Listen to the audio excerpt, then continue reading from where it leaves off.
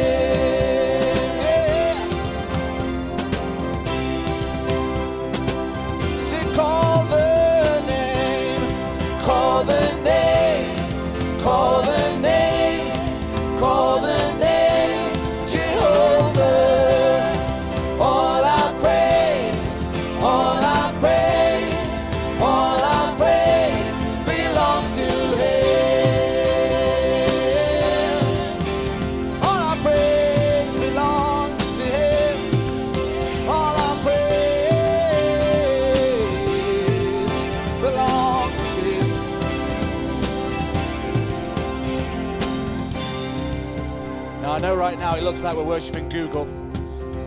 It's a bit weird. But we're just going to be in His Spirit right now. We don't need a song lyrics to worship our King. We're going to sing our own song to Him.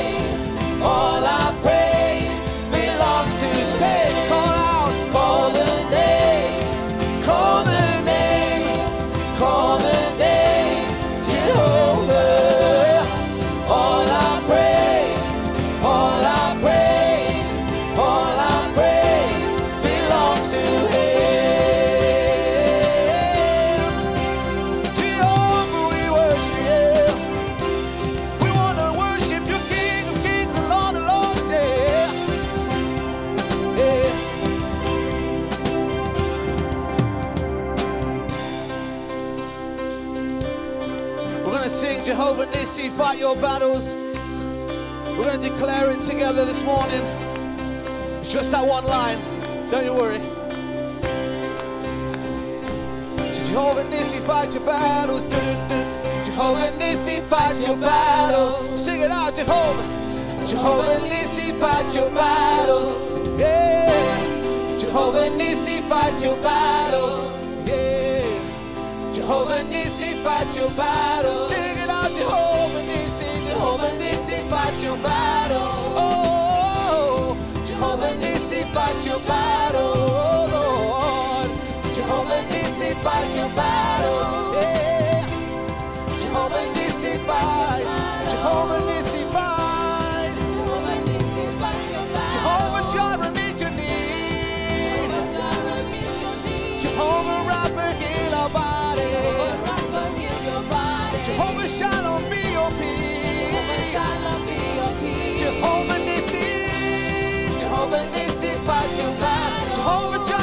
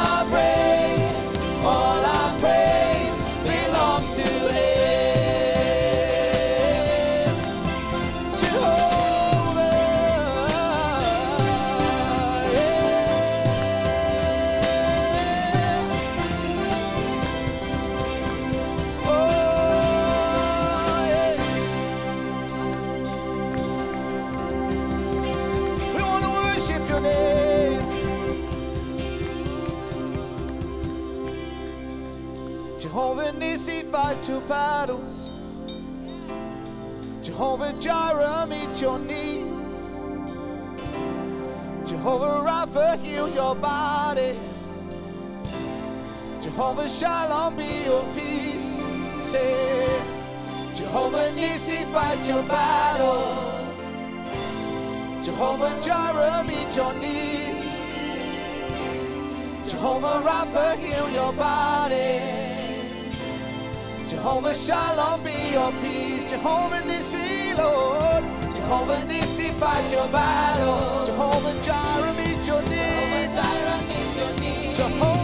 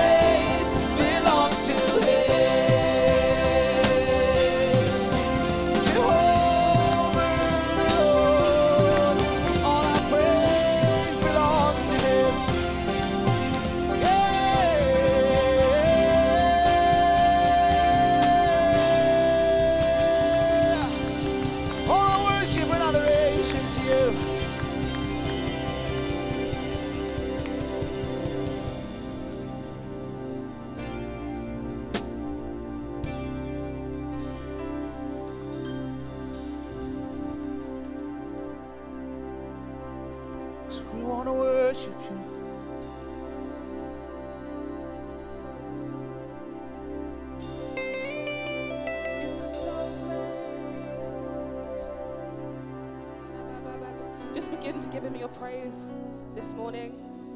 Our God is great. Our God is so great. Great are you, Lord. You are so great. Great Jehovah. Great Jehovah. You are,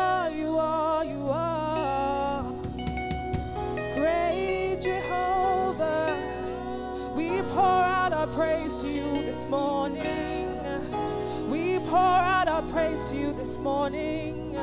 We give you our hearts, God, for you worthy,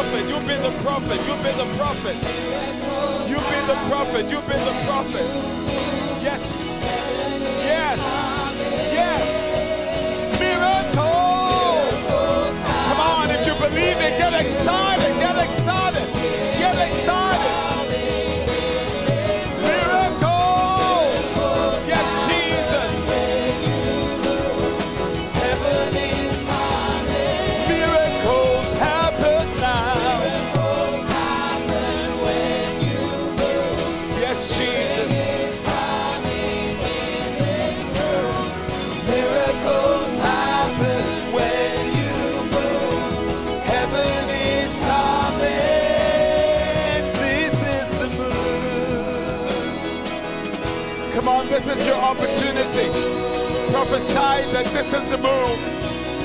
This is the move. This morning, right now, right here. This is the move. Come on, open your mouth and declare it. This is the move. This is the move. It's my day of miracle. It's my time of miracles. This is the move. This is the move. This is the move.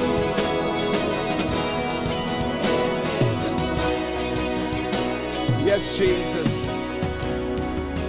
Can I just encourage you to just lift up your hands to the Lord this morning and you begin to talk to Him about the area of your life where you need a miracle? Begin to talk to Him. Please don't give up. You may have been asking for a while and it looks like it hasn't happened yet. But come on, just pray about it again this morning. Pray about it again this morning. Tell Him, Lord, I need a miracle. I know legs that need to be healed. Legs that need to be healed. I'm crying out to the Lord on behalf of one of my sisters, and I'm saying, Oh God, oh God, we've been trusting you for this miracle. Lord, this is the move. This is the time. Now is the hour. Come on, go ahead. Pray for your miracle. Pray for your miracle. Surade sataya.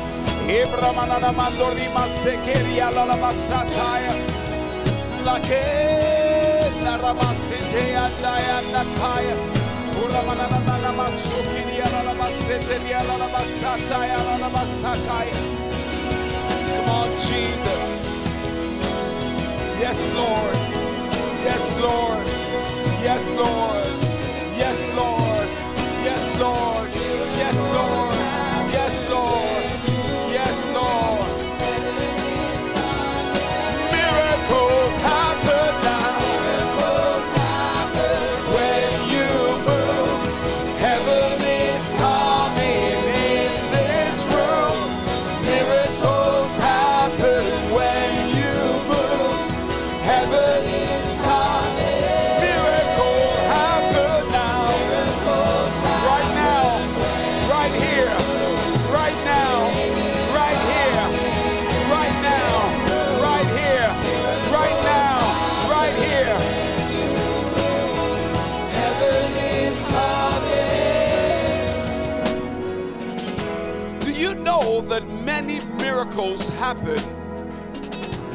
Without any outward manifestation? From time to time, when I'm praying for people in altar ministry, I get caught up with the person who gets a touch from the Lord and loses their balance and fall backwards. But from time to time, the Spirit of the Lord will remind me Daniel is not about that. Don't look for that. I, I- know the ministers know what I'm talking about. Sometimes when, when you're kind of praying on the altar and, and this one drops and that one drops, and then the next one you pray for uh, because they're not dropping, subconsciously you're thinking they didn't get it yet, they didn't receive something yet. But it's not about the outward manifestation. The Lord God Almighty is spirit. His operation starts in the spirit realm. It doesn't have to have a physical manifestation for it to be done. I mean, let me give you an example. A centurion comes and talks about his servant and said, My servant is dying. He's, I don't know how many miles away from where the servant is. But in another geographical spot, Jesus says to him, You go back, your servant is healed. Now, I can tell that what the servant probably needed was a miracle because you don't run around looking for help if somebody was just sick. It must have been a sickness unto death. Now, right where the centurion was, there was nothing in the physical to show him that something has happened to the servant. Jesus speaks a word. It's like Jesus said, I said, miracles happen when I speak, and heaven is coming in your house. I mean, Jesus just spoke a word. And the Bible said, as he was going home, he was met on the way, and he asked, and they said, At this very same hour, your servant was healed. I don't know who I'm speaking to this morning, but somebody needs to just open up the hands before the Lord and open up your heart one more time. And just begin to tell the Lord, it's this time, Lord. You may have prayed about the situation 150 times, but this one more, one more time, this time, this time, this time, this time, this time, this time, this time. Come on, somebody pray to it. Pray into it. It may be something in your personal life. It may be something in the life of your loved one. Like my heart this morning, I'm crying out for a particular daughter of the house, a particular sister that I'm saying, oh God, don't let her lose hope. Don't let her lose hope. Oh God, let this day be the day of our healing. Let this be the time of the deliverance. Let it be now, Lord. Now, Lord. Now, Lord. Now, Lord. Now, Lord. Now, Lord.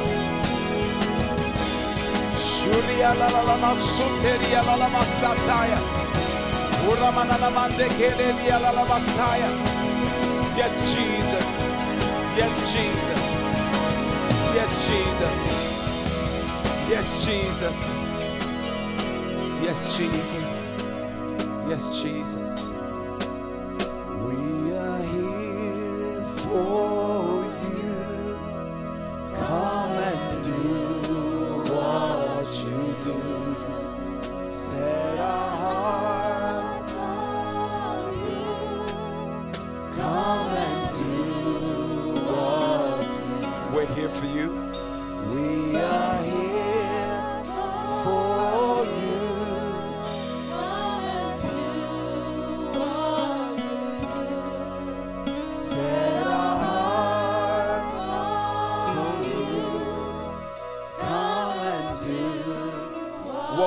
We're here for you.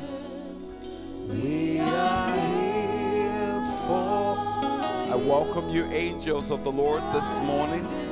Come and do what you've been sent by the Father to do. Feel this room and touch the sons and the daughters of God.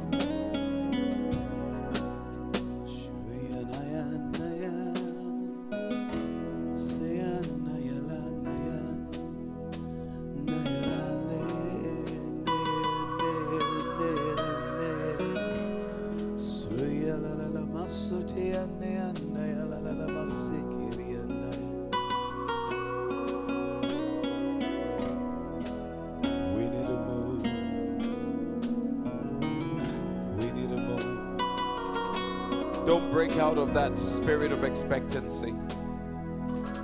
If you can, you can just open up your hands like there's an invisible messenger, FedEx from heaven, just coming down to your row, coming down the aisle to drop something in your hands.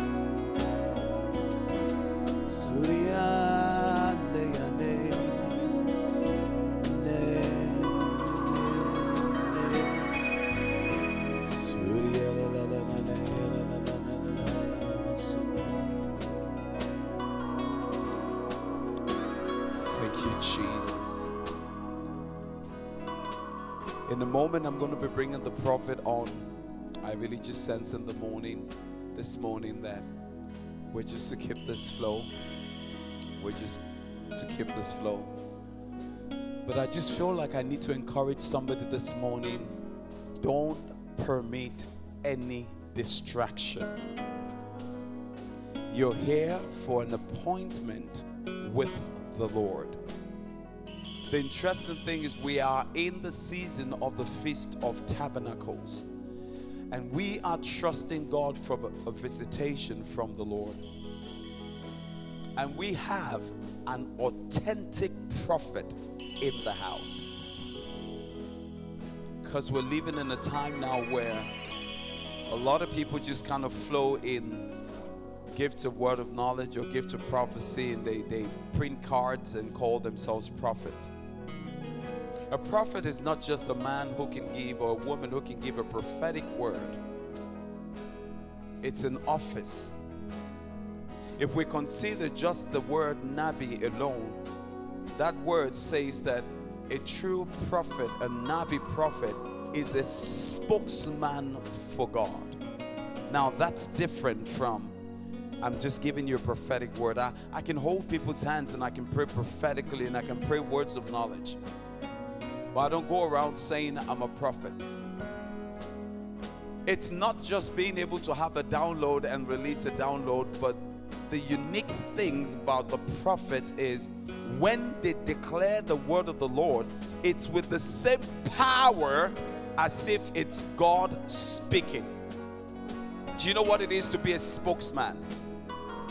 To be a spokesman is completely different from being a newscaster. It's different from being a courier. Spokesman is you've been delegated the authority to speak in the stead of the other person. So I'm saying this this morning because I want you to prepare your heart. All through today, I believe we're going to receive the ministry of God's prophet.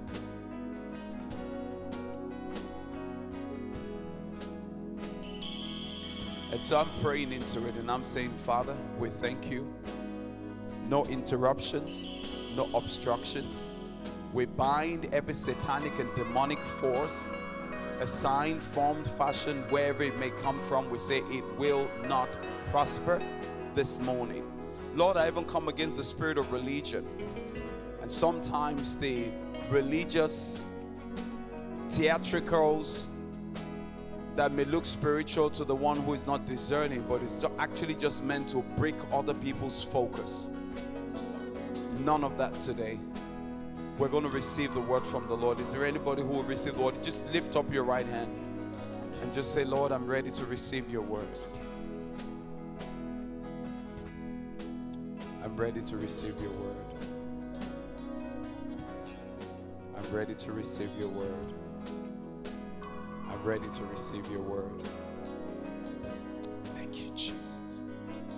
I don't know, I keep hearing this in my spirit, and I'm just going to release it as I'm about to bring the prophet on. May we never lose our wonder.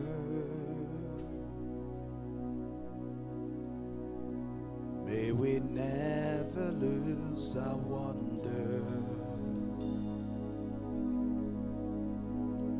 May we never lose our wonder.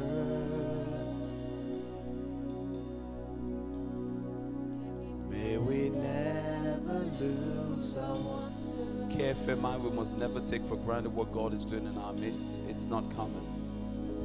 Wide eyed and mystified, may we be just like a child, staring at the beauty of our King.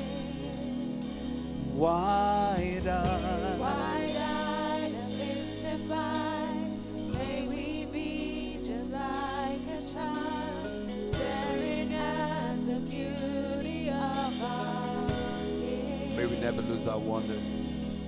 may we never lose our wonder. We never lose our wonder. May we never lose our wonder. May we never lose One more time, wide eyed. Wide-eyed and mystified,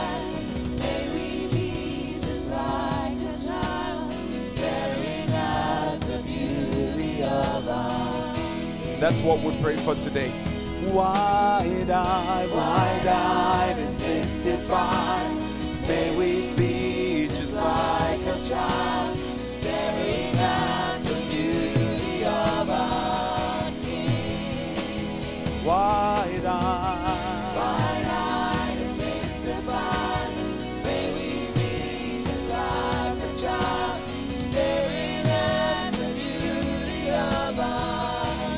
beautiful. You are beautiful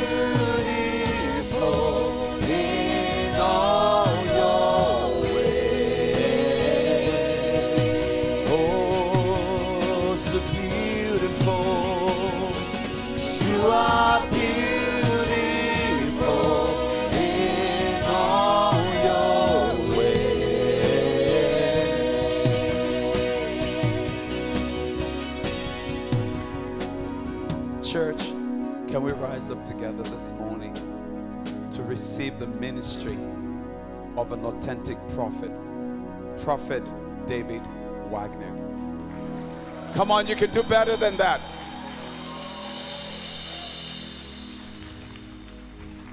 We welcome you into this place. Lord, we declare that, uh, Lord, there's nothing ordinary about today, and there's nothing ordinary about you. That, Lord, you've come to do the extraordinary. You've come to walk and talk amongst us this morning. You've come to move in our midst. I hear the Spirit of the Lord saying that I'm bringing you into a season that is beyond limitation. I'm lifting every lid, I'm opening every door, and everything that's tried to oppress you or hold you back. The Lord says that this is the season of the release and the revealing.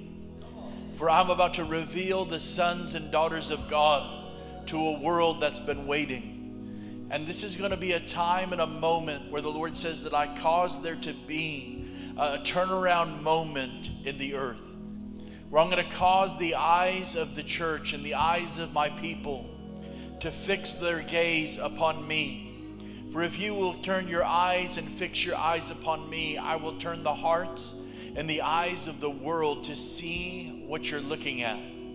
For this is going to be a season that is beyond normal and beyond usual. For the Lord says that I'm expanding your expectation in the hour ahead. For many have made yourselves too small, and many have made me too small in your own eyes.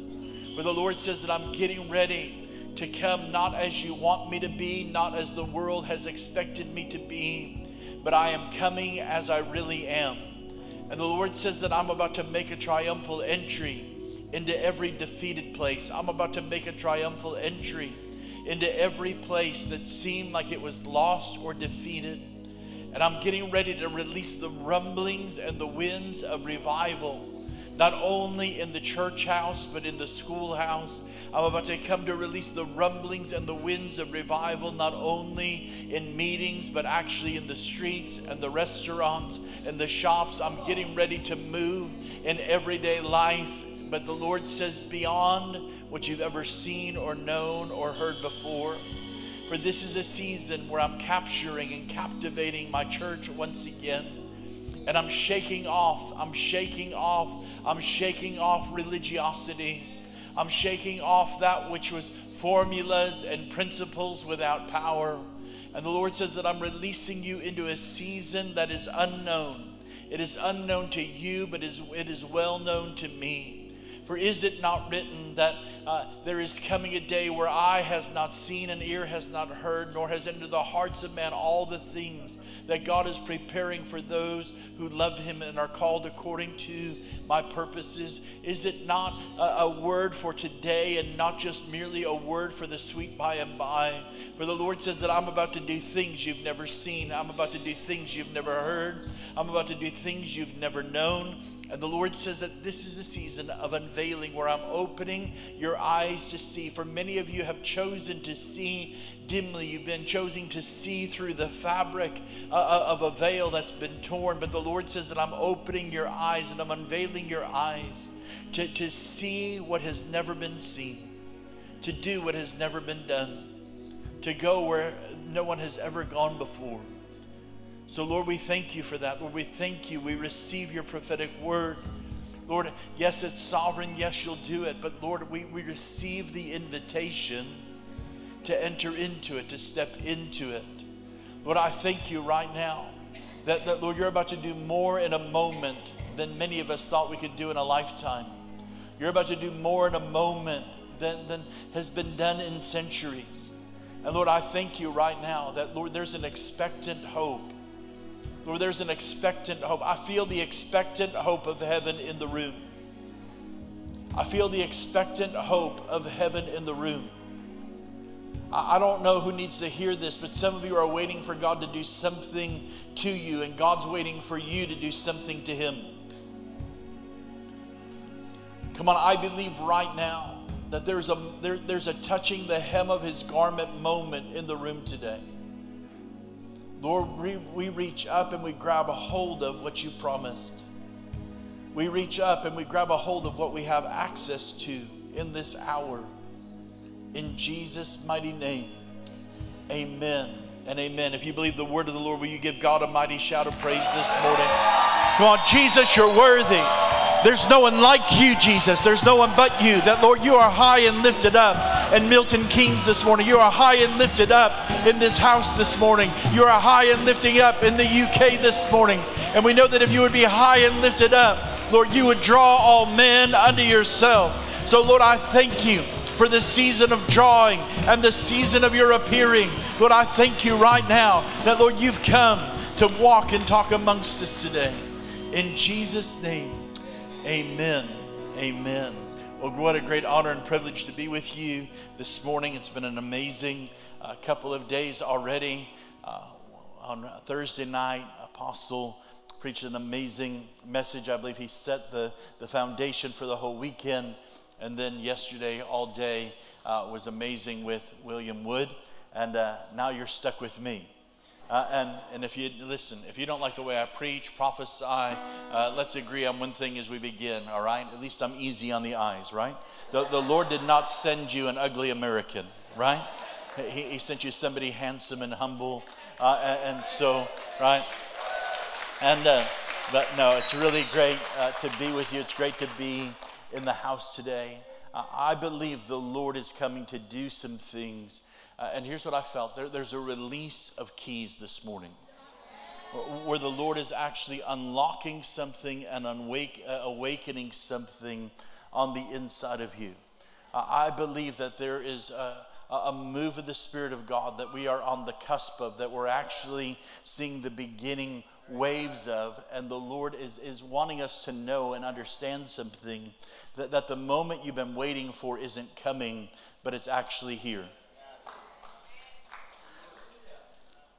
I shared this a little bit the other day with, with Apostle in the car that the Lord's taking the church from the waiting room to the delivery room. There comes a day where the waiting is over and you actually receive and step into what you've been preparing for. I, I believe in the prophetic and in this season that we're in, if I could give you one word, uh, it would be this prepare to accommodate.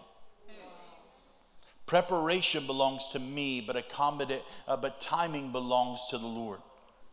And a lot of times we get frustrated in the waiting, and we're not actually waiting on God. He's actually waiting for us to prepare for what He wants to bring to us.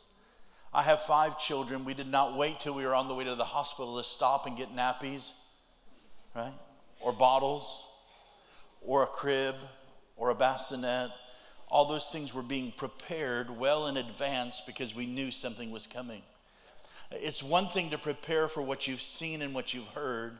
It's another completely different thing to prepare for what you've never seen or heard. Are you hearing me? If you've seen it and you've heard it, you really don't have to prepare for it.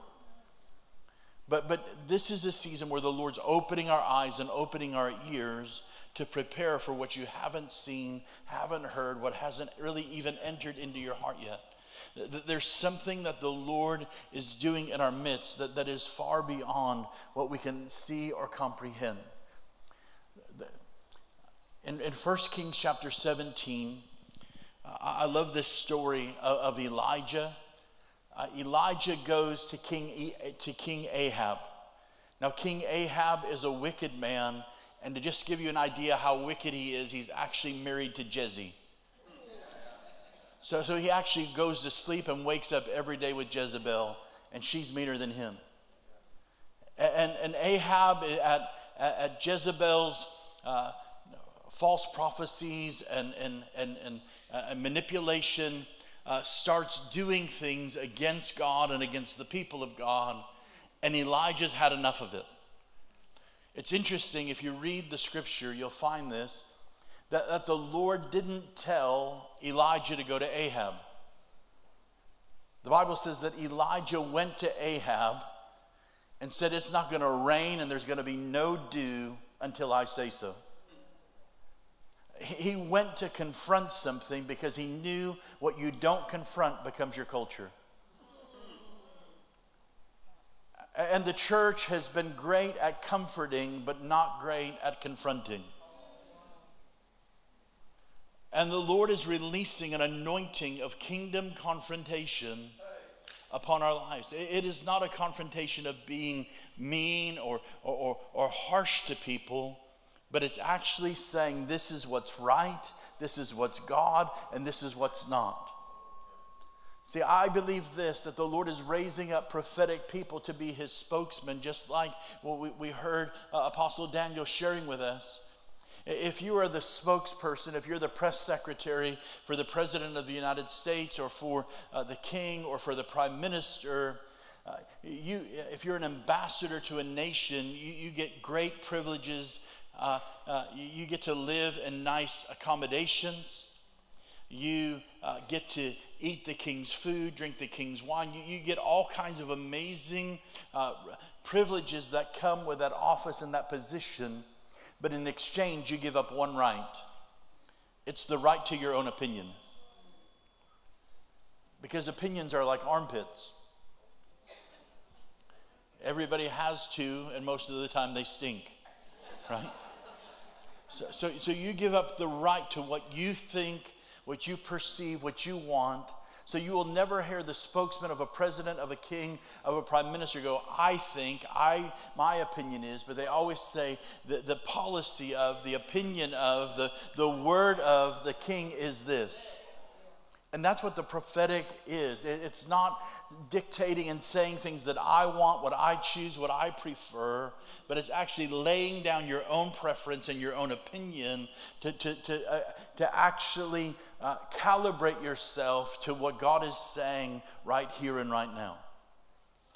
And so Elijah has this relationship with God. I don't think we understand it, but, but he, is, he has this anointing upon his life and this relationship with God that, that he knows what's in the heart of God, and he knows when he opens his mouth that God will back up what he's saying. There's a mutual trust eh, that Elijah trusts the Lord, but the Lord also trusts Elijah.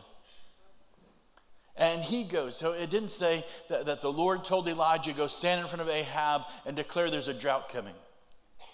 Elijah said, There's wickedness in the land. I'm about to confront it.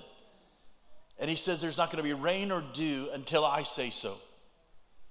Now, if I, I, I'm not as brave and bold as Elijah, I probably would have sent that in a text or a WhatsApp.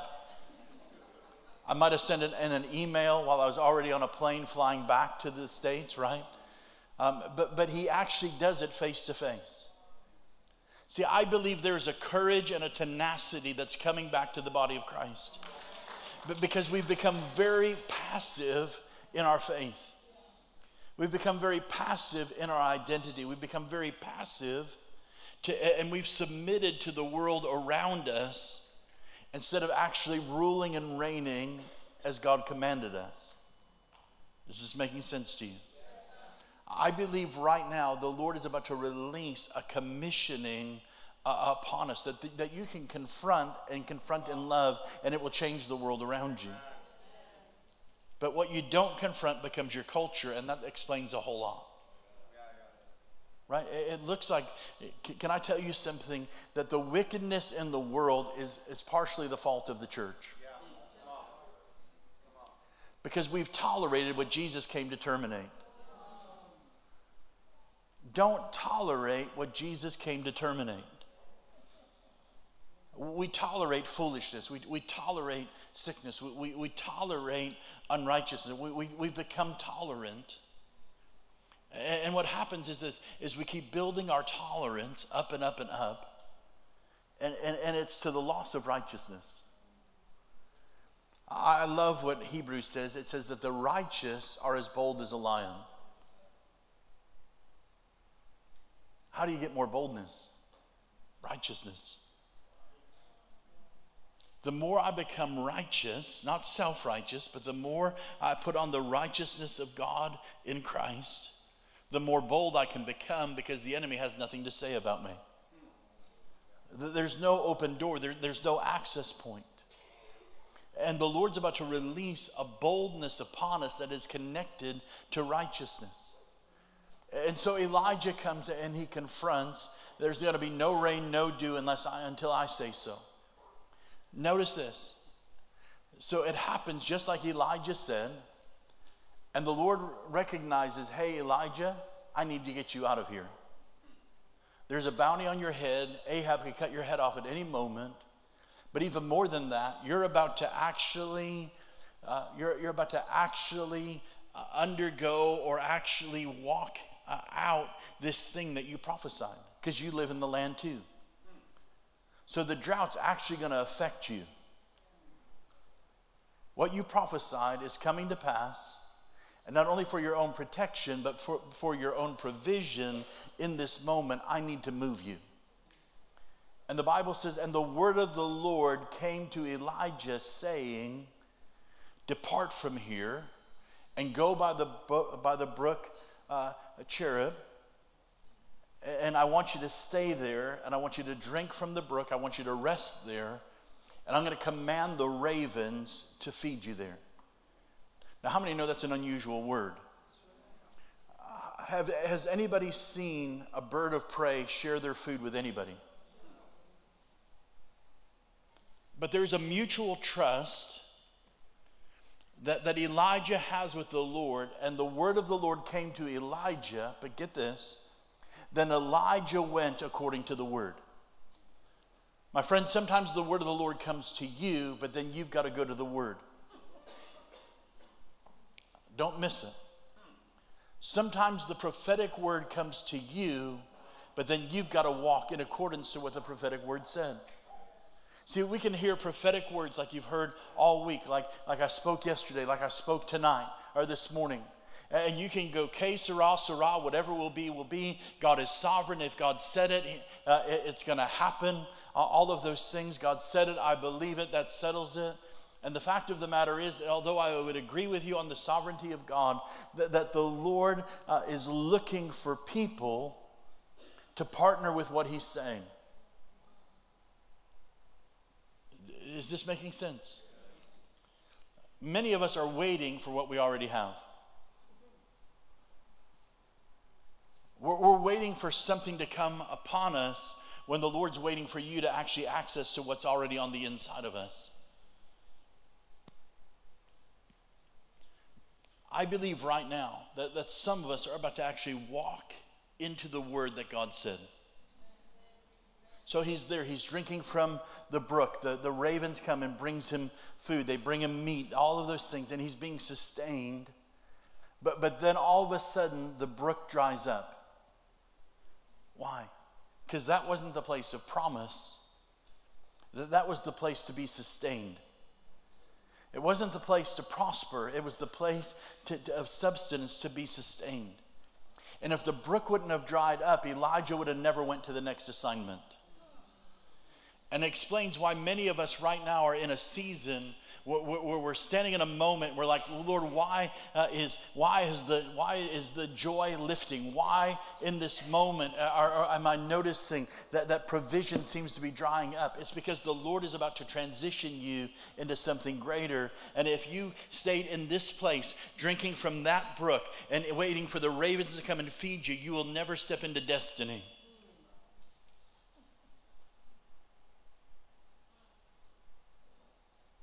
I believe this.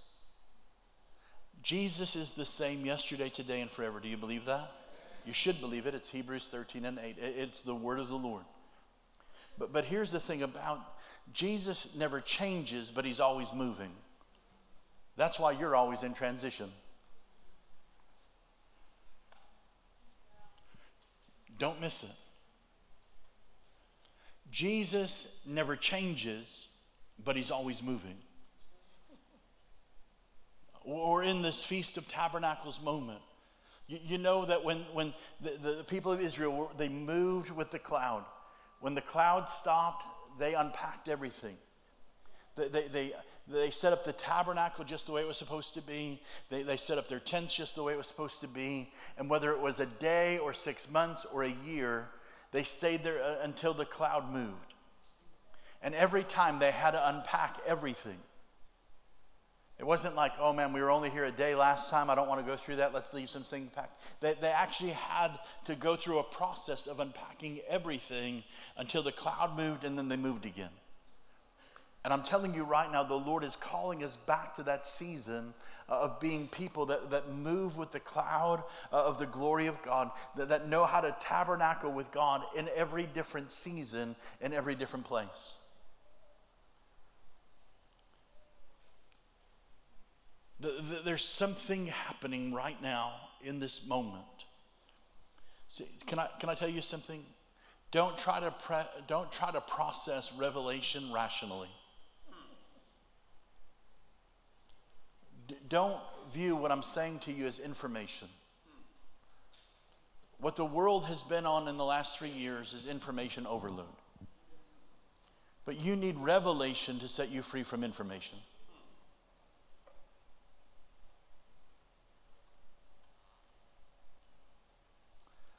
Let that rest on you a moment. Some of you right now, it's explaining, I'm just explaining to you why you're at, why you are walking through what you're walking through. You got to this place and everything looked good and everything was flowing good and everything, the, the water was good and the food was good. And now everything that used to work isn't working. And it's not because God is changing or, or, or something is wrong with you. The Lord's actually transitioning you into a greater transformational moment. And He said, It's time to leave the brook.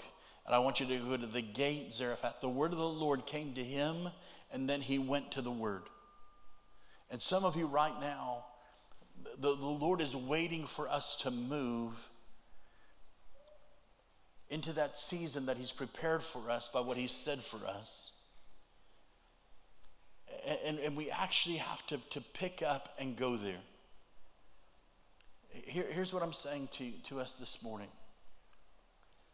Has anybody ever been frustrated? Revelation without application leaves you in frustration. So you might have a revelation, but you don't know how to apply it to your life, and that's why you're staying frustrated. And you're frustrated with God, and you're frustrated with you, and you're frustrated with everything else because nothing's happening. And the fact of the matter is, God already spoke, and you've got to catch up to what He said. Have you ever got to a place where everything was flowing and going and growing, and it would seem just like you were moving towards the promise of God, and everything just went full on stop? Right? You, you, you went from, from full on, you know, just, just uh, 150 miles an hour, just uh, you're going to the promise of God, and then it was like you hit a wall. Can anybody relate to that? Here's what I've discovered, and most of us aren't going to want to hear this. Whenever, when something seems opposite of the promise, uh, the first thing I do is I go to, back to my last place of disobedience and I repent. Pick up the promise and I move through. Are you hearing me today?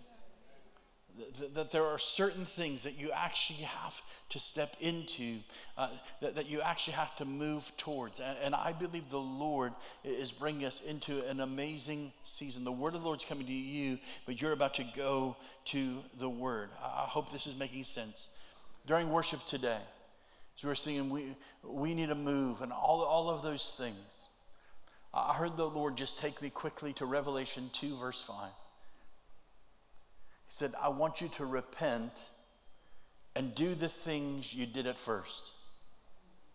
If you do not repent, I'm going to remove your lampstand. He, he's speaking to a church. He, he's, he's saying, Hey, I need you to go back to do what you did at first. Do you remember when you first got saved? And you got so radically changed, you believed God for everything. When I first got saved, I, I remember my, my, vehicle being on E. I had no money. And I would just pray, Lord, would you get me to the church? Will you get me to work? All of those things. And for a week, you would drive with no gas in your car because you trusted the Lord in all of it. You, you believe God for, for, for everything. And then somehow you tried to grow up and you forgot to grow down and you've moved from childlike faith into doing things on your own. Can, can anybody relate to that? That, that, I remember I would believe God for everything because He was everything. And then somehow we, we, we, think we get so smart. We, we think that we get we can figure it all out and, and begin to do things on our own. It's kind of like this. When, when I first got saved and, I, and I, I, under, I got the revelation about tithing and giving. And I was making just $200 a week, and, Uh, and, and $20 seemed like it was all right to give. But I realized I didn't just want to make $200, I wanted to make 400 So I started tithing $40 instead of $20. My, my faith wasn't where I was, it was where I was going. And I wasn't to giving to get, I was just trusting the Lord. He said I could test him in this.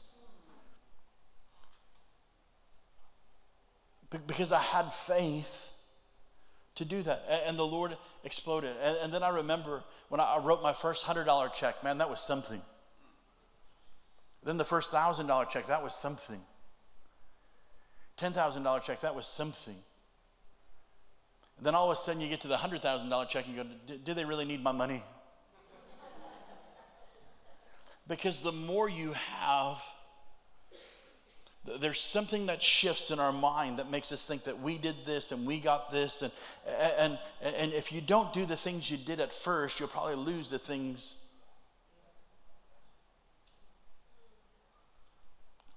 Does this make sense to you? And the Lord's calling us back to the things we did at first. I remember I got radically saved. I was a, actually a schizophrenic, an alcoholic, and I committed suicide. I attempted suicide 10 times. On the 10th time, I was successful. I took 250 prescription pills, a bottle of gin, a 12 pack of beer, and I laid down to die, or so I thought, on January 17, 1997. Uh, I ended up in a church 12 miles away from where I was living in front of the pastor. It was his first day out of seminary. Uh, he wasn't even the real pastor, he was just the interim pastor while they were waiting to vote in another pastor. Uh, and I dropped dead in his office his first day out of job, on the job. Welcome to the ministry. Okay. I dropped dead in his office. He calls the ambulance. The ambulance comes. I'm dead, literally dead for three to five minutes. They come, they resuscitate me, they revive me, they bring me to hospital. Uh, I'm, I'm, uh, they pump my stomach, uh, and I'm on life support. I'm in a coma for two and a half days. And after two and a half days, through fingerprints, they figure out who I am, and they call my mother in Chicago and they say, You might as well forget you ever had this son. He's not going to live, it, but if he does live, uh, he'll be a vegetable the rest of the days of his life. He won't walk, he won't talk, he won't be able to feed himself. And my mom sat on the steps of her, of her house in Chicago, put the phone to her chest, and said, Satan, you can't have my son. And God, I don't even know how you do what you do, but I'm asking that you make my son a miracle. I named him David because I always believed he'd be my little shepherd boy. I can't say at that very moment, but around that time, a bright light came into the room and Jesus revealed himself to me. And he said, Son, I won't relent and I won't repent. I've not changed my mind about you. I've called you to go around the world preaching the gospel. Wherever you go, lives will be touched and changed. All I can tell you is I died crazy, but I woke up in my sound mind. I died empty, but I woke up hungry, and there's a huge difference. And, and all I can tell you is I felt peace and love for the first time. And my first prayer was not the sinner's prayer, I didn't know that one. I just prayed this prayer God, if you can love me when I can't love myself, I'll serve you the rest of the days of my life. Uh, it's why I'm here in the room today. And, and the reason I'm sharing that is because there, there, there's these moments where God marks us, where God calls us, where, where, where God does the miraculous in our life. And somehow we get caught up in the mundane and we forget the miraculous that He did to get our attention in the first place. And the Lord is awakening us back to that place of first love, to that place where He's calling us, where, he, where, where He's bringing us into to something greater that we've never seen or known before. Here's what I'm saying is that I'm alive because of a miracle. So, why would I expect my life to be anything but miraculous?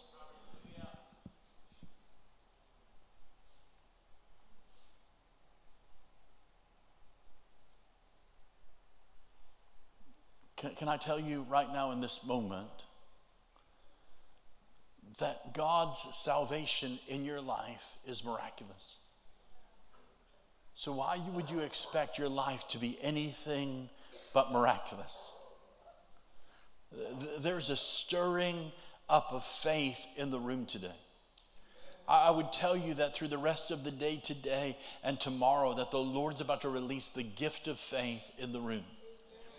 It goes beyond the measure of faith that you get at salvation. It is, the, it is the, the ability to believe for what God is believing for. It is not your own faith, it's actually the faith not just in the Son of God, but it is the faith of the Son of God that comes into the room and it changes everything.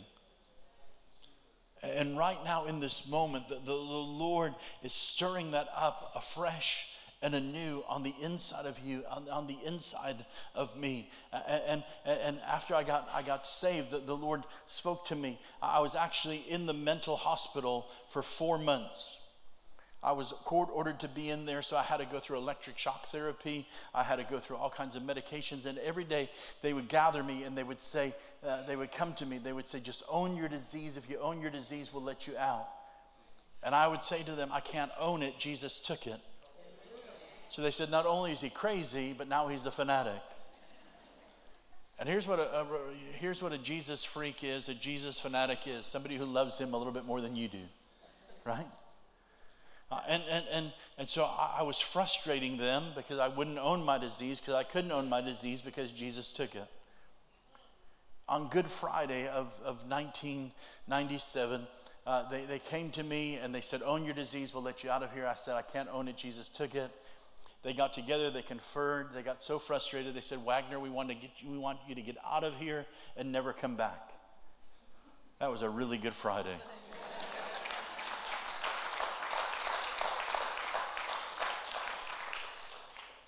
I was so hungry for God that on Easter Sunday, I went to church eight times.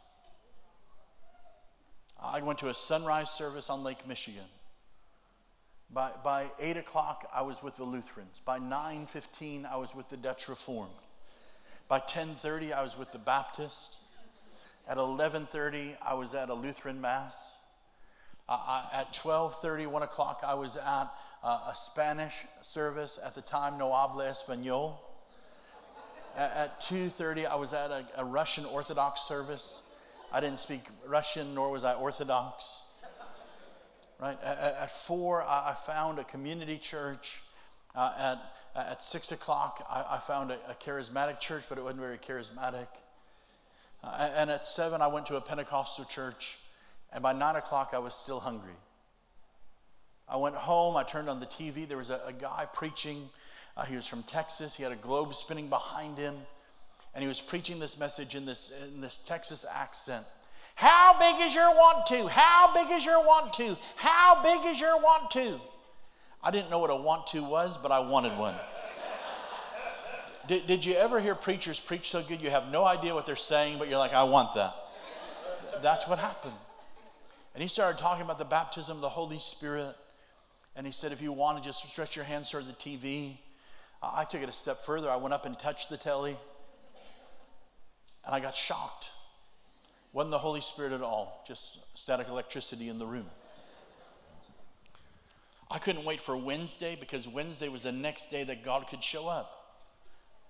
So I, I found myself in a Southern Baptist church. Uh, and I walked in. I said, Pastor, my name is David Wagner. I used to be alcoholic, schizophrenic. Uh, I committed suicide a few months ago. God raised me from the dead, and now I'm here to receive the baptism of the Holy Spirit. I thought Baptists were charismatics because they had drums and guitars. He was nice enough to tell me I wasn't going to get it there, but I could maybe go to the Pentecostals up the hill. And, and so I went up to the Pentecostals up the hill, and they tried to beat me over the head uh, with, a, with a King James Bible and put me through all kinds of formulas, and right? And, and I found this noon hour prayer meeting. And, and, there was prayer Monday through Friday every day from noon to one. And you would pray corporately, and at the end there was a ministry time, so I would go front, and they, they say, "What do you what, what do you want? What do you want to receive?" I said, "I'm here to receive the baptism of the Holy Spirit." I had one guy try to blow him into me. I didn't get anything but garlic, cilantro, onions, with a peppermint finish. Thank God for the peppermint finish. I had one guy try to rub him into me, but he couldn't get through the hairspray. Right? I had one guy try to push him into me. I got knocked down, but I got up again. I wish I would have wrote a song about it in the 90s. I had one guy try to punch him into me. I punched the guy back. And after 30 days of spiritual abuse, I was driving down my car and I prayed this simple prayer God, I want everything you have for me, even if I don't understand it. And he said, You'll never have to go through man to get what only I can give to you anyway. And he filled me with the Holy Spirit driving down the interstate, and it changed everything. Here's the point we're waiting for somebody when God's waiting on us. We're waiting on somebody to, to give to us what only God can give to us. We're waiting for somebody to activate in us what only God can activate in us. And, and I, I'm not underestimating the fact that we actually need people in our lives and we need pastors and leaders and prophets to come and give us words, all of those things. But, but I'm telling you that the Lord is saying to us today that the waiting is over because you already have what you need. Are you hearing me today? Does it make sense to you to wait for what you already have? The, the Lord is bringing us into a, a new season of understanding. Come back and do the things you did at first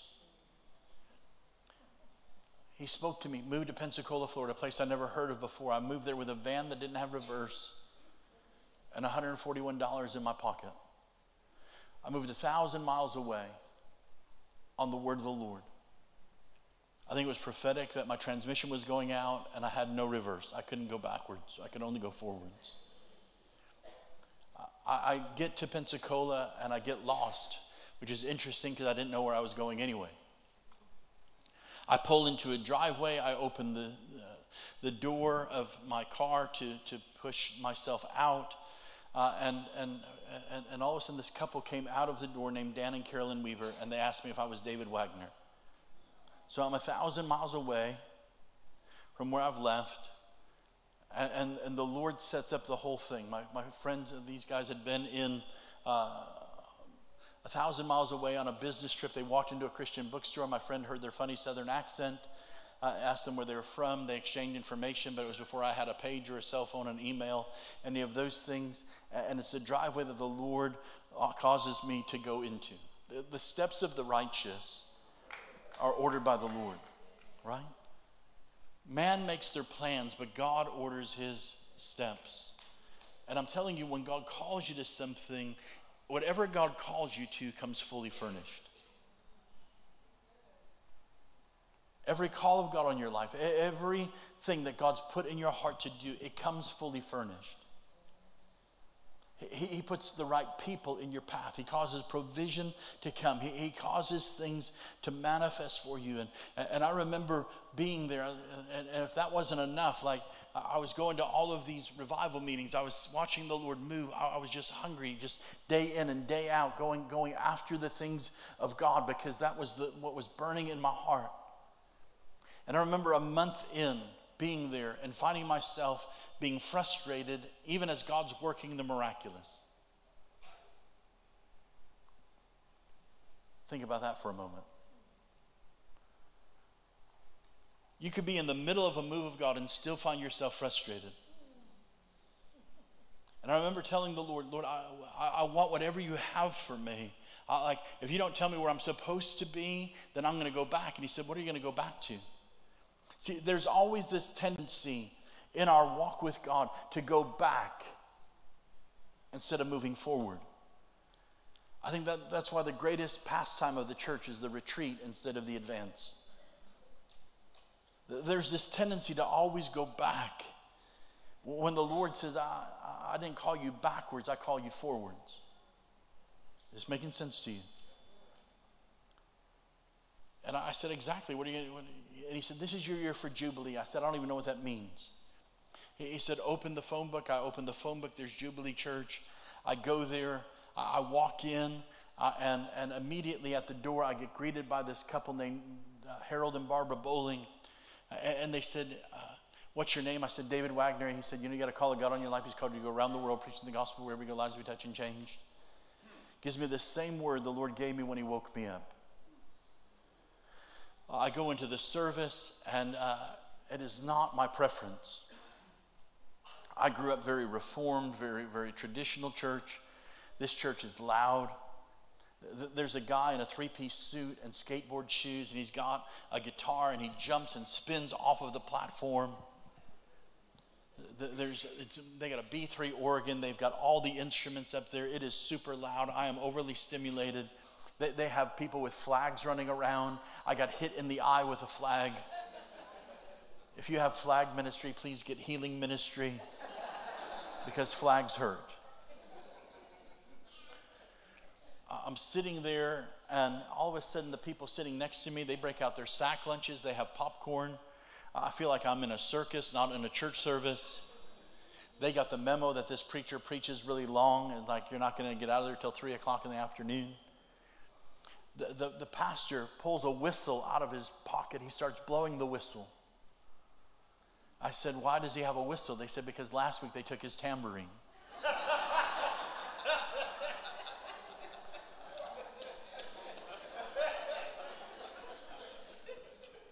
I am overstimulated. I have no idea what's going on. The pastor stands up on a chair, blowing a whistle, waving a flag. And the Lord says, Welcome home. And I said to the Lord, Not my preference. And the Lord said, Don't let your preference create a prejudice that keeps you from promise.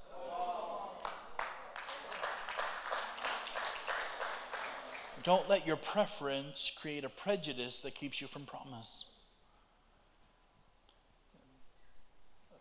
There are things that we like, there are things that we prefer because they're comfortable to us. I preferred predictable church. But, but if you knew how it started and how it was going to end, why come at all? And all of a sudden, this man stands on the chair and he says these words I can live without a lot of things, but I refuse to live without the presence of God. And when he said that, the Lord said, That's what you've been looking for your whole life. That man became my spiritual father. It's quite often that God will put people in your life that you don't even like because they have the keys to your destiny. They begin to provoke you to love and good works. Some of you right now, the the Lord's about to move us from preference and prejudice into the place of promise.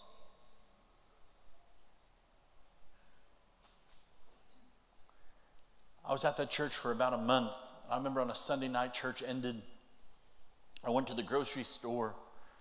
And as I went to the grocery store, I was, um, I had, I needed the gift of discernment. I'm in the soup aisle by the ramen, and I have to discern do I want chicken, shrimp, hot and spicy, or beef? I'll never forget it. Barry Manilow is playing. Oh man.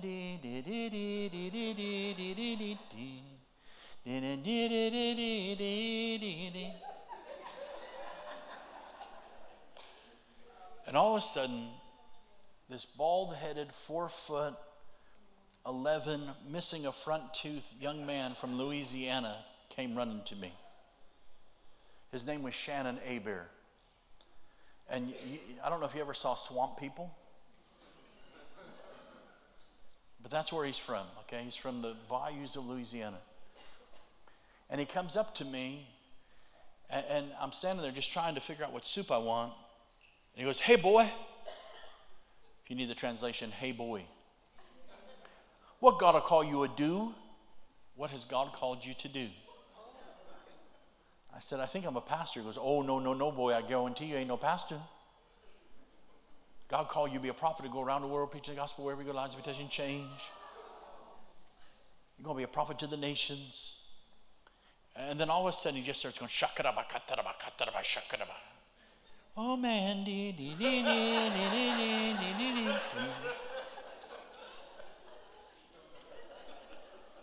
Then he says, I guarantee, boy, God going to use you or raise the dead. And he walked away. I chose chicken. I went home, I made the ramen. I sat at the table, I was getting ready to eat the ramen, I was praying. And I said, Lord, how is that? I mean, that's the weirdest thing that's ever happened to me. He said, Not really. You've done a lot weirder stuff, and, and which was true. But, but in my Christian walk, this is the weirdest thing that's ever happened to me. I mean, one minute I'm listening to Barry Manilow trying to eat ramen. Next minute, I got a Cajun guy coming up to me giving me a word about raising the dead. And I said, Lord, how is any of that going to happen anyway? He said, I need you to think like a normal Christian who has a word about raising the dead on your life. You'll never see dead people raised until you pray for dead people.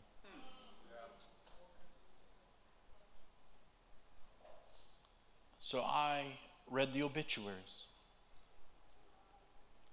I had one suit, it was an olive green suit, polka dot tie, and I had pleather shoes. Part plastic, part leather.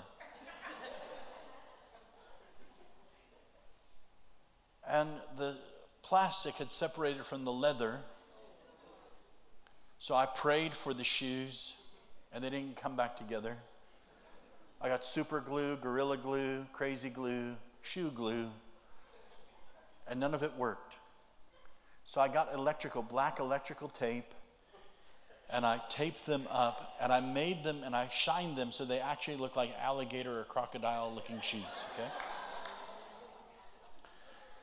I thought I looked so fly, but my wife said, You didn't look fly, your suit attracted flies. And I thought she liked it till she told me we couldn't get married in it. And so, um, and, and so I just have this one olive green suit, okay? I read the obituaries. I go to the funeral homes, to, to, to wakes and funerals of people I had no idea who they were. I go into the, I go into the receiving line. Oh, I'm so sorry for your loss. John was a good man. He loved you, Mary, with all his heart. Bubba, your daddy loved you. He loved going fishing with you and hunting with you. Jim Bob, your daddy loved you, and so sorry for your loss. Then I'll go to the casket. John, my name's David, and I'm here to get you out. If you can hear me, John, open your eyes. I think he tried, but they were glued shut or something. So I put my hand in his cold hands. I said, John, if you can hear me, squeeze my finger. Don't pull it, John, squeeze it. In the name of Jesus, come up. And nothing happened. So I went to the next room. Mabel was in there.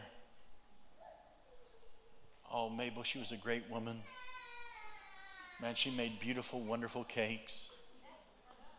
Member of the Bow Society for many years. We're going to miss Mabel. Mabel, my name's David, and I'm here to get you out. In the name of Jesus, come up.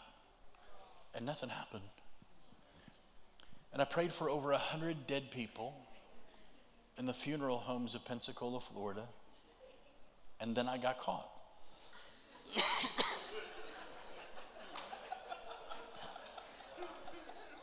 One day I was walking in and I was met by the funeral directors, by the morticians. And they said, We've been watching you. And there's no way you know every dead person in Pensacola. And they threatened me with a restraining order. So I said, Lord, what will I do? He said, You'll never see people raised from the dead until you see, until you pray for dead people. So I had to figure out where more dead people were. So I found out who was in charge of janitorial services and maintenance at the local hospital. I took him to lunch because the way to his heart and his keys were through his stomach. And I said, Do you have keys that get you into everywhere in the hospital? He said, Yeah, everywhere. I said, Even the morgue? He said, Are you some kind of freak? I said, No, I'm just a normal Christian who has a word about raising the dead on my life. And what's the worst that can happen? Your doctors practice medicine, they died. I want to practice raising the dead. What's the worst that can happen? They'll just stay dead. And he goes for it. He said, I'll get you in, but if you get caught, you don't know me. And I prayed for a hundred dead people in the morgues of Pensacola, Florida. And then I got caught. They threatened me with a restraining order. The only way I can get back in the hospital was if my wife was having a baby. That's why we have five.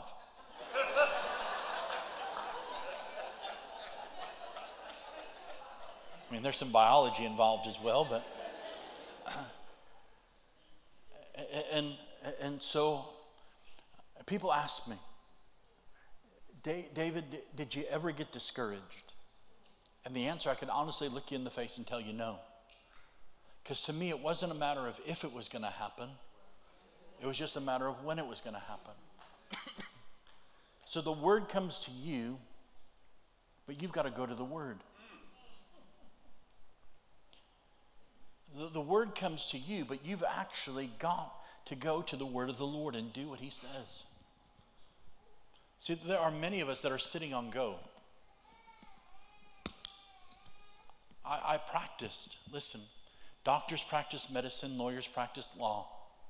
Why do they call it a medical practice or a law practice? Because they're practicing on you.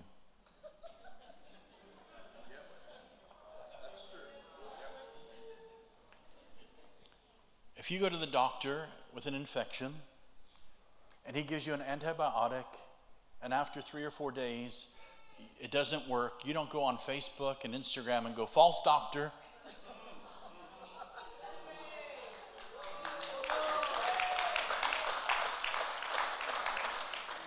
You just go back and say, hey, doc, that didn't work. Can you give me another antibiotic? Doctors practice medicine, lawyers practice law. You should be practicing in the Holy Spirit. You should be practicing in the gifts of God. You should be practicing in the gifts. You're welcome. and so I, am practicing, but I don't see the results. I, I'm not discouraged and I'm not disappointed.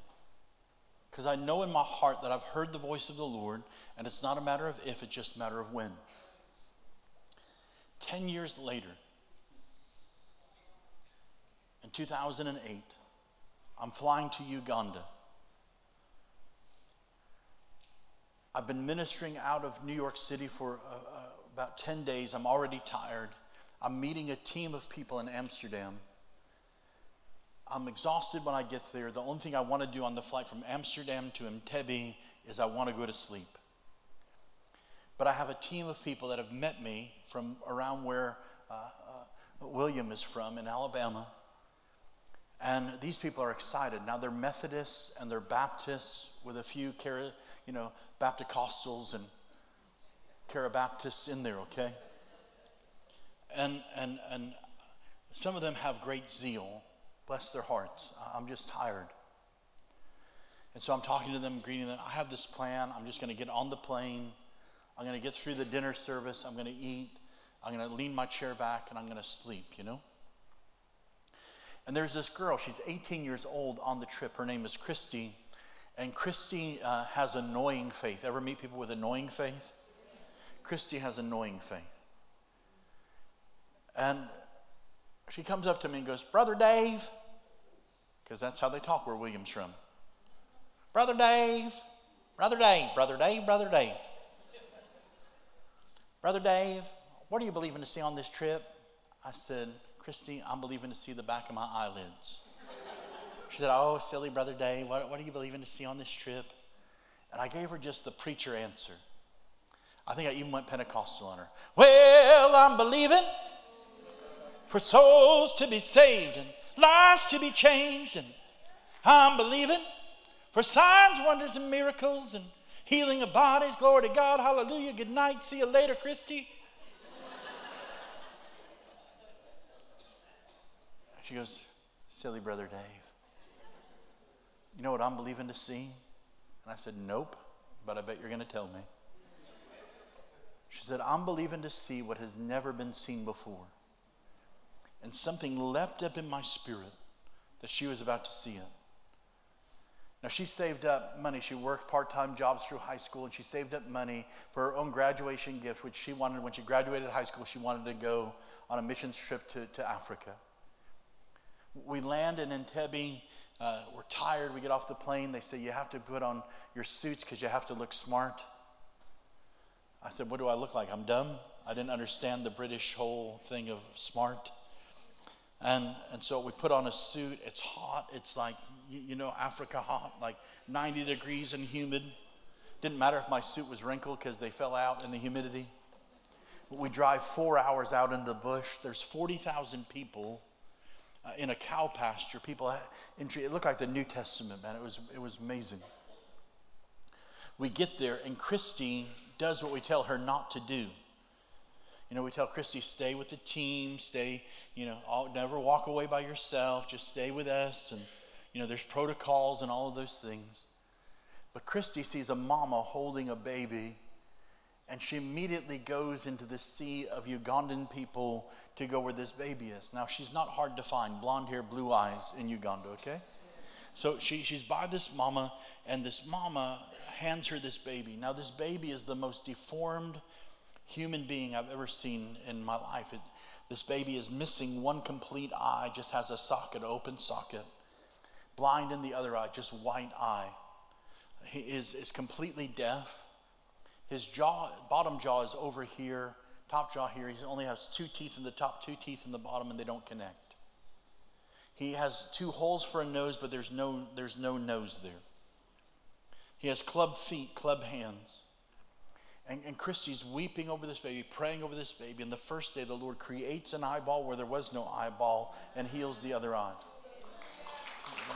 A little while later, the Lord opens the baby's ears and he starts responding to sound. The next day, she prays for him again, and the jaw aligns. The Lord grows a nose, and he says, Jesu, Jesus in his native language.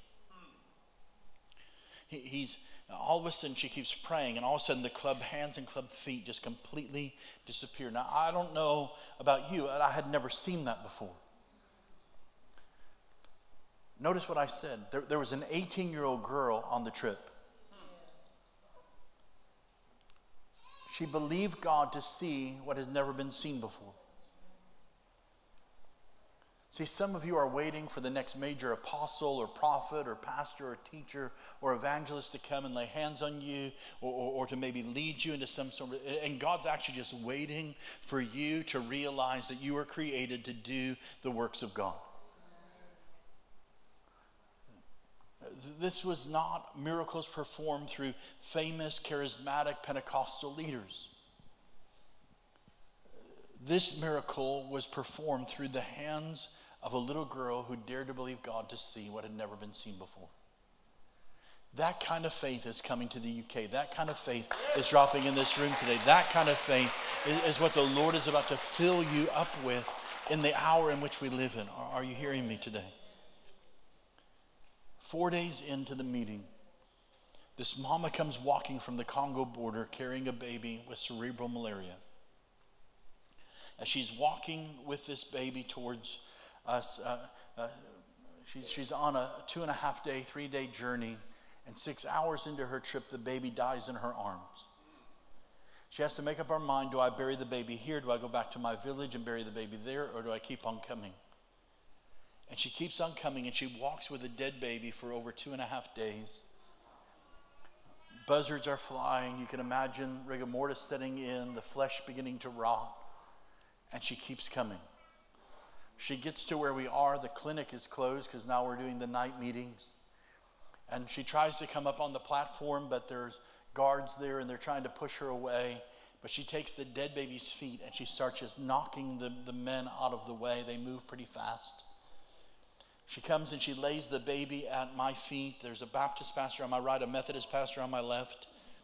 It was not time for a theological dispensational discussion. She just said, My baby's dead. What is your God going to do about it? We said, What's his name? She said, Samuel. We said, Samuel, in the name of Jesus, we call your spirit back into your body. You'll live and not die. You'll prophesy, declare the word of the Lord. All of a sudden, his rigor mortis body went limp. All of the open uh, flesh began to close up. He, he began to cough and sneeze. He sat up. We gave him some, we, some water and some matoki. And two and a half hours later, while we were preaching, he was playing soccer, he was playing football behind the platform because our God is the God who raises the dead. And I'm telling you right now that there is a moment in God in this room this morning that many of you are about to see the Lord about to awaken faith on the inside of you again to believe for what you've never seen before.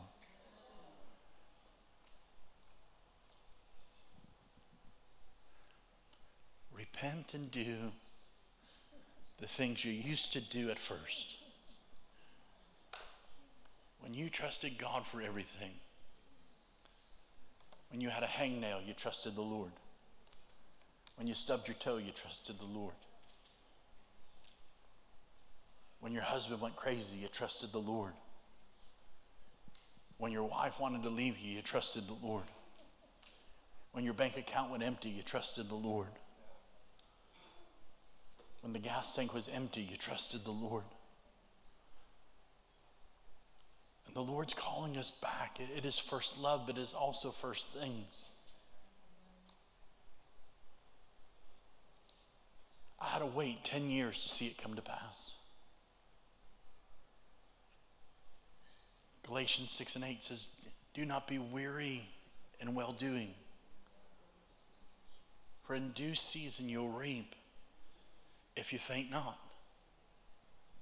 William said something amazing right before Pastor came up and invited people forward last night. He said, God can use a failure, but he can't use a quitter. I was up half the night just thinking about that.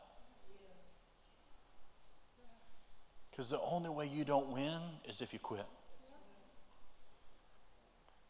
And there are some of us in this room today that, that are basing our theology on what we haven't seen.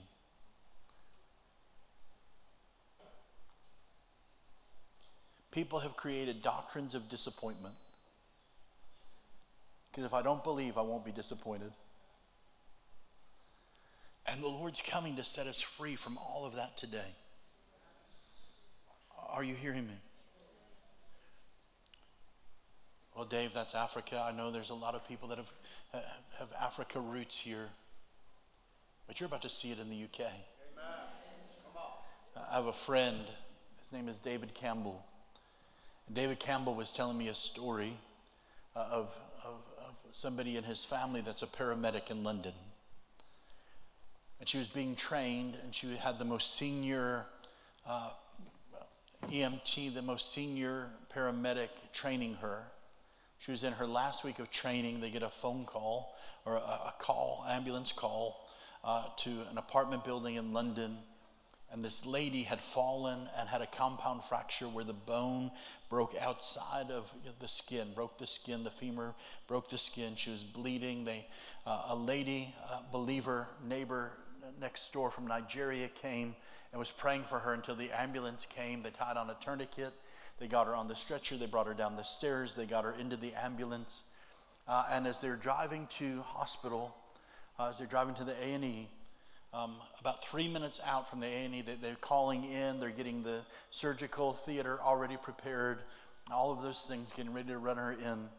And in the ambulance, all of a sudden, the bone comes back in, the muscle and the skin come back in, the bleeding stops. And now the two paramedics are going, What are we going to tell them? We've already prepared them, all of those things. Uh, and so they, they, they don't know what to say. And they get to the hospital, and the lady's laying there. Said, "Listen, when we got there, the bone was outside of the body. She was bleeding out. We put a tourniquet on, and somehow, when we were driving from uh, about three minutes out, the bone came back together, and the flesh came over it, and the bleeding stopped. And we don't know what to, how to describe it." And the doctor said, It happens sometimes. he, didn't have the vernacular, he didn't have the vocabulary for miracles. So he just said, It happens sometimes. I'm telling you right now, those things are about to happen all over London, all over, uh, all over Milton Keynes, all over this area, and all over this region. That, that, that, he's, not, he, he's not just the God who performs miracles in third world countries. But he walks in palatial places. He, he walks in, in first world nations. He, he knows how to turn the hearts of kings. Are you hearing me today? Well, Dave, are you just telling us stories or you're prophesying? Yes. Revelation 19 and 10 says the testimony of Jesus is the spirit of prophecy. So if you can testify, you can prophesy. The stories that you've heard yesterday and today are, are not to go, wow, look at these amazing men of God. These stories are to provoke you to realize that if God could use us, God can use you. And I'm telling you right now that there's a Holy Spirit provocation coming for us to believe God, not just on Sunday mornings or in conferences but to believe God to, to perform his mighty works and his mighty deeds in our midst today. Okay, are you hearing me today? Here, here's what I felt. Many of you have words over your life. The word came to you. Now you got to go to the word.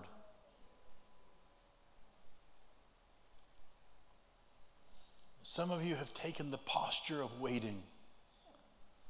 And now God's calling you into the posture of walking.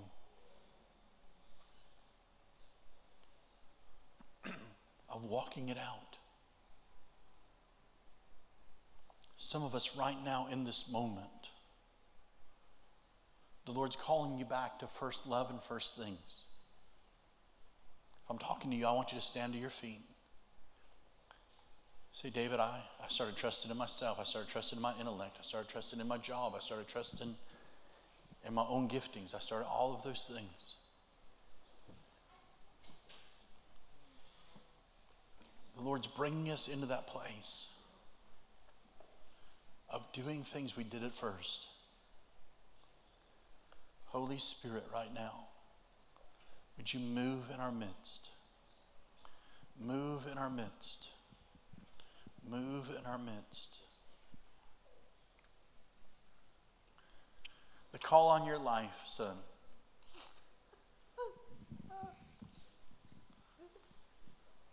Is so profound, so beautiful, so wonderful. Lord's given you broad shoulders, but an even bigger heart.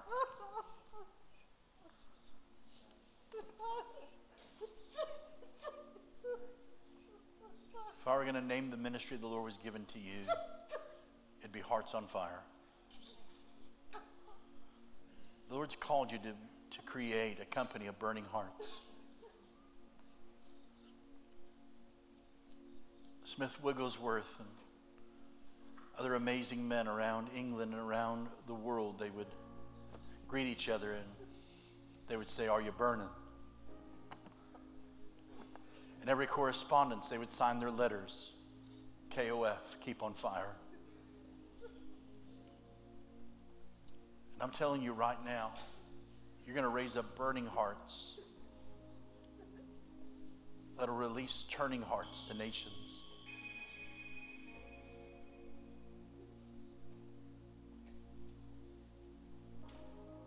There's a deep healing taking place on the inside of you. Every place where you weren't affirmed, every place that you weren't believed in. The Lord's saying, Son, I believe in you.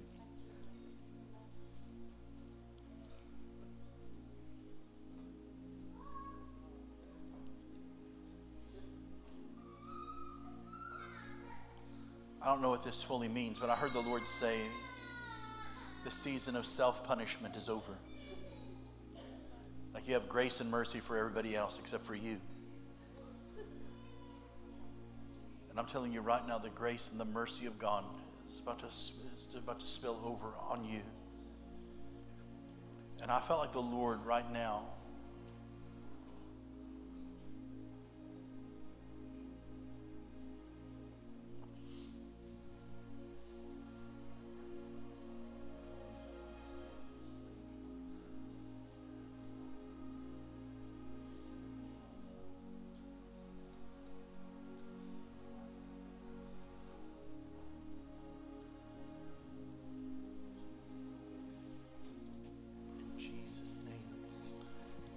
Jesus' name. In Jesus' name.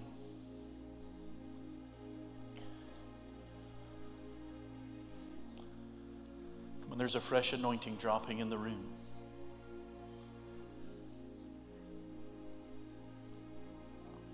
I feel like there's some people in the room, you stopped praying for the sick because you didn't see anything happen. And disappointment settled in.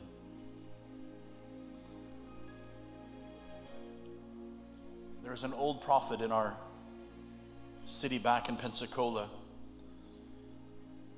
Somewhere he got mad at God and mad at the church, and he decided to just drive a school bus. It doesn't seem very smart to me, but uh, he just drives a school bus.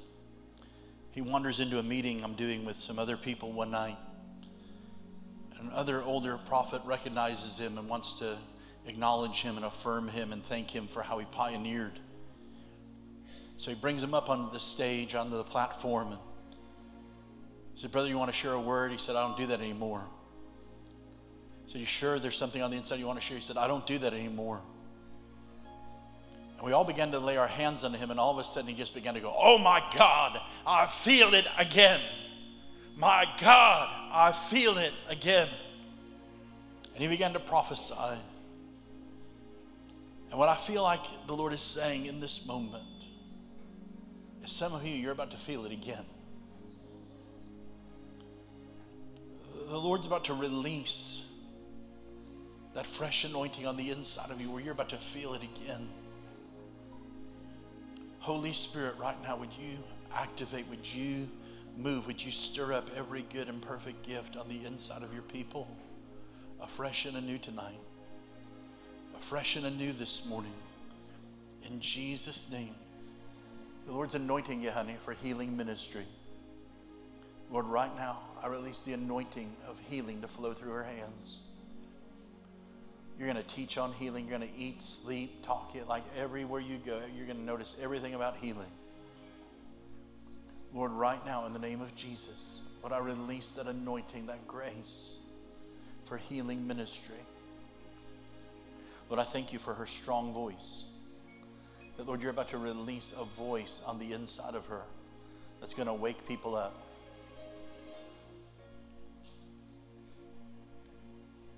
You live in that tension between comforting and con- confronting.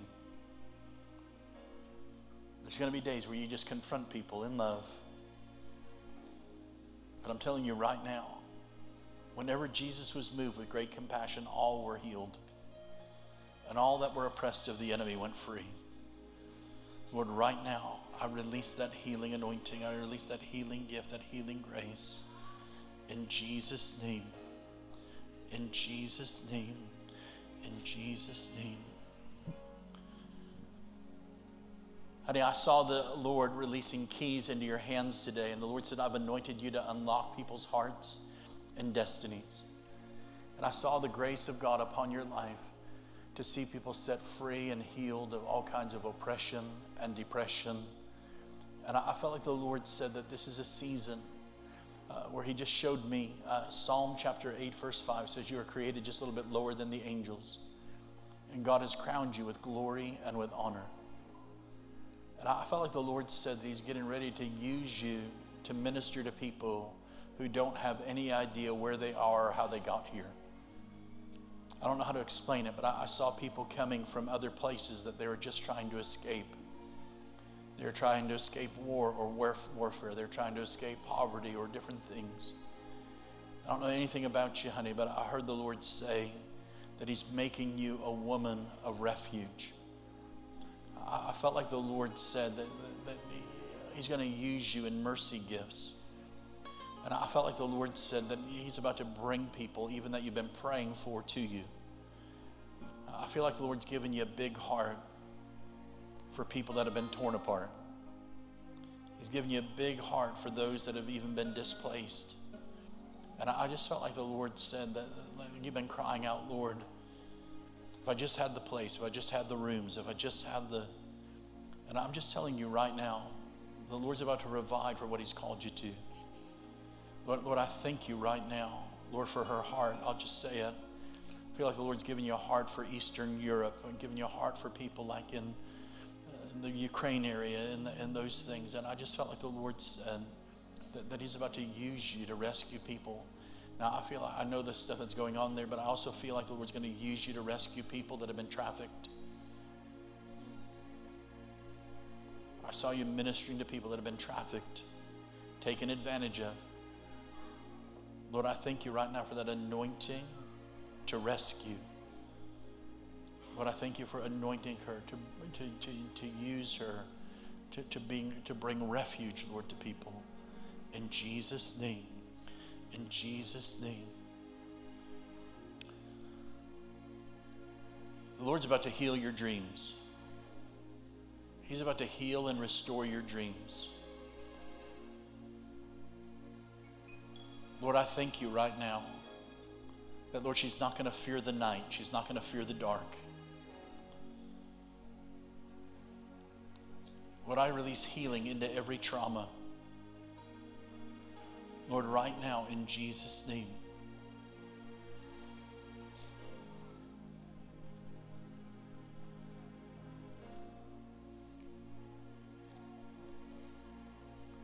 Telling you, the, the, the light of the glory of the Lord is about to rest upon you. The Lord's about to shine the brightest light even to, into what you feel is a night season of your life. Holy Spirit, would you just move with power and might on the inside of her today? In Jesus' name. In Jesus' name. I, I felt like this. Maybe you need to pray like that 18 year old girl Christy prayed. Lord, I want to see what's never been seen before. I feel that childlike yet gift of faith dropping in the room today. Somebody needs to hear this. It can happen here. It will happen here. Lord, right now.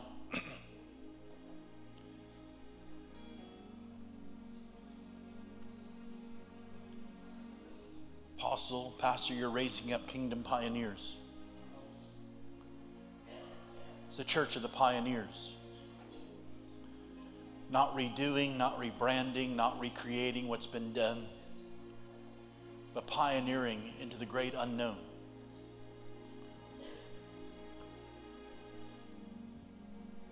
There's a reason I called you back. There's a reason I brought you back.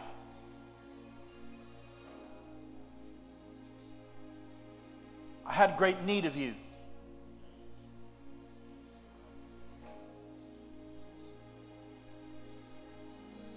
In a land of many teachers, I needed a father. In a place of many well known preachers, I needed a father.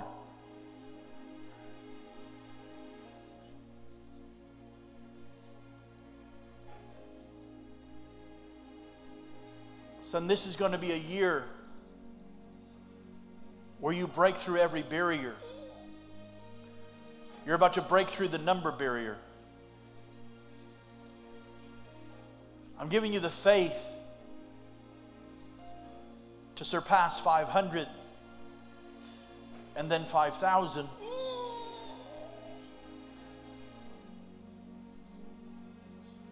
For you've realized that it's not about numbers, it's about names.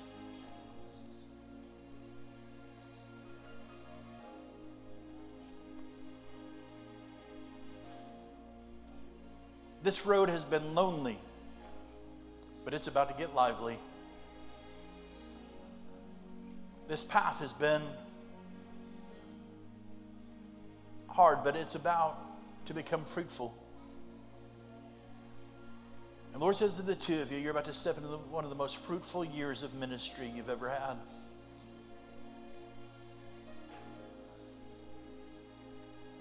I'm going to send you reinforcements. I was thinking about this this morning. The UK used to send missionaries all over the world. America sent missionaries all over the world. Europe sent missionaries all over the world.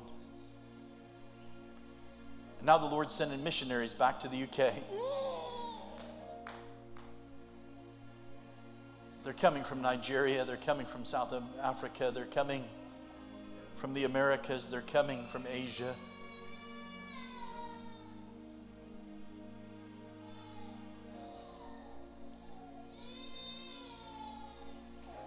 Lord says, I'm releasing the anointing of buildings and lands. It's not just a building, it's not just a land, but buildings and lands.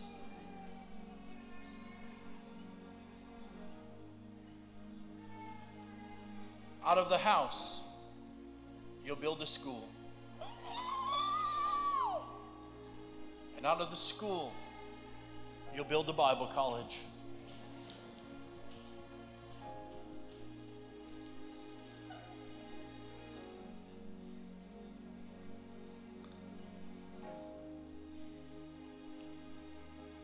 Heard the Lord say,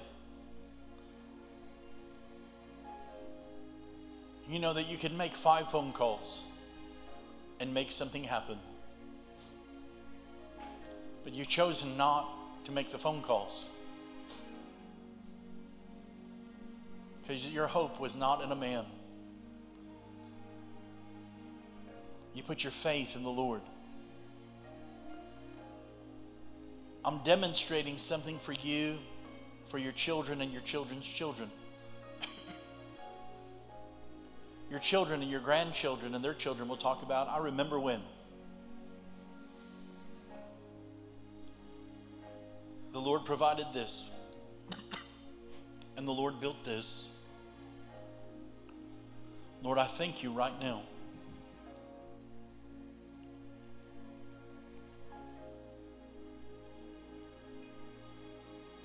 Lord, I thank you for moving them into the year of the phenomenon.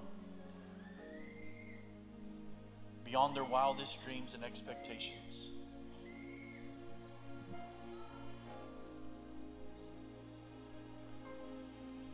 It's a season of roots and wings. It's a season of roots and wings. Planting and soaring.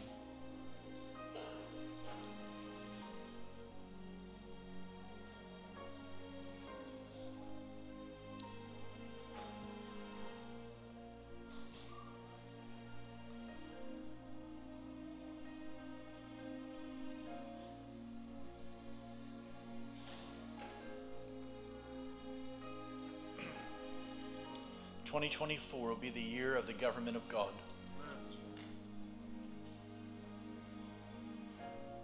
Of the fatherhood and the, gov- the government of God coming upon the two of you.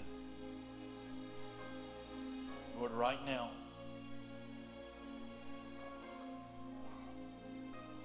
I heard the Lord say it's going to take you six months. Woman of God, it's going to take you six months to even talk about what's happening in you this week.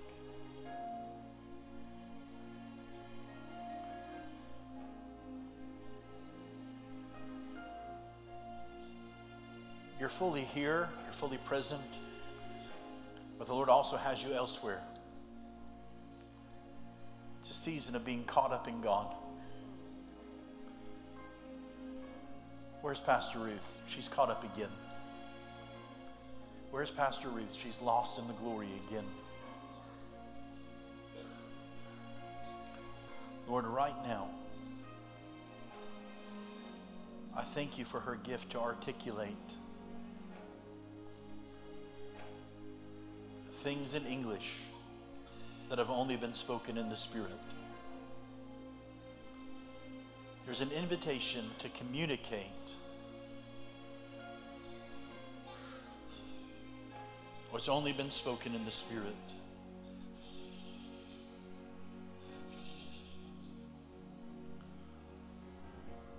I don't know who it was. Somebody wrote a book about translating God. Hmm. Lord, I thank you right now.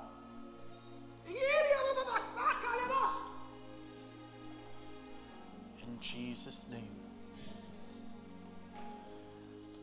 Lord, I release that gift of faith connected to the prophetic word. Or that blind eyes are about to be opened, body parts are about to be recreated, the dead are about to be raised. Lord, thank you for demonstrating your power and your might in our midst. In Jesus' name, amen. Can we just appreciate God and appreciate the prophet of the Lord?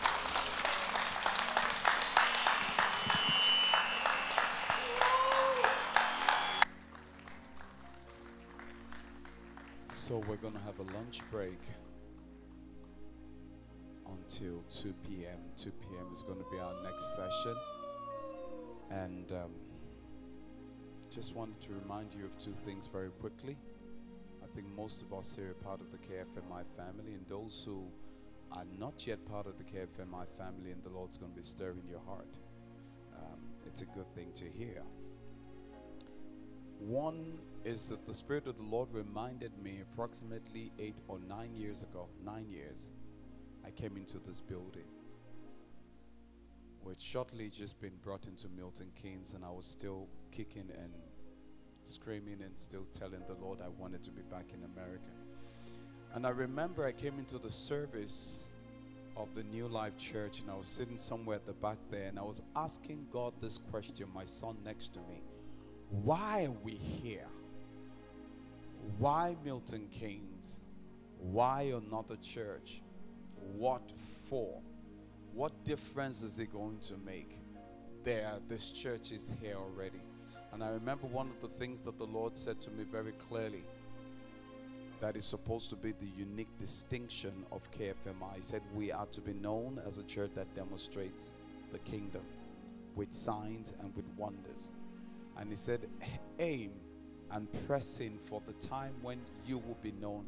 I mean, churches all over the world have some goals that are primary goals, but with each apostolic center, with each one that the Lord establishes, there will be some areas of focus.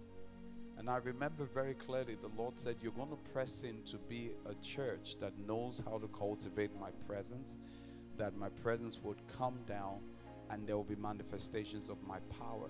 And that the day would come when people want to say, when they want to talk about kingdom faith, it will be like, you know, that place where you know you can get healed, that place where you know the power of God will be demonstrated, that place where miracles will take place. And I said this just for you to connect with the word of the prophet. I heard it when you said, gift of faith will be released. Now I understand why I couldn't get off the platform until I started singing, May We Never Lose Our Wonder. Wide eyed, mystified. Because in Kingdom Faith, we've seen a lot of things. And it's really interesting. My wife and I were having a conversation this weekend. There are people who've come around us and walked away from us because they've seen, they got kind of close and saw the man and didn't see the purpose. And they've just walked away like, well, there's no big deal. I can, I can do without this relationship. Um, and there are people who know who know about kingdom faith. They know where we are, but they, they don't come. I mean, sometimes we, we go the extra mile. She was telling me even this morning, I didn't know that she was doing the same thing as I was doing. I was going out of my way in the last three days, just inviting a whole bunch of people who I know can't discern our difference. And from time to time, I've learned that lesson of, hey, you don't need to try and attract everybody, just the people who can discern your difference. But I want those of you who are here to hear the word of the prophet. When the word is declared, we're going to have to step to it. We're going to have to grow up to it. We're going to have to go for that word. We're going to have to reach out for that word. The Spirit of the Lord told me, He said, quickly go again and check that word wait when it says to wait upon the Lord kavah the word he said and i now looked and i noticed that one of the meanings of that word is to look for. To wait on the lord is not to just stay in one position and say i'm waiting for god but it's also to look for meaning we're going to have to come to it. We're going to have to go for it. We're going to have to press into it so that we can see it manifest. The second thing i want to remind you of very quickly is I got a word from just one of the sons in the house, and I'm just going to read one phrase of it. During this conference, people you would not expect will be given unusual gifts. Expect the unexpected. And it came back to me again, just as you were rounding up, that you see, sometimes within the body, some people would want to show themselves to be somebody, to be something. And if they don't get that acknowledgement, they get upset but they don't understand that God does not choose that way. It's like God coming into the house of Jesse and seeing all the Eliabs and all of them and all those who want to pick themselves up and let everybody know that I'm somebody. I'm very spiritual. I, I can see, I can pray, I can do all of that.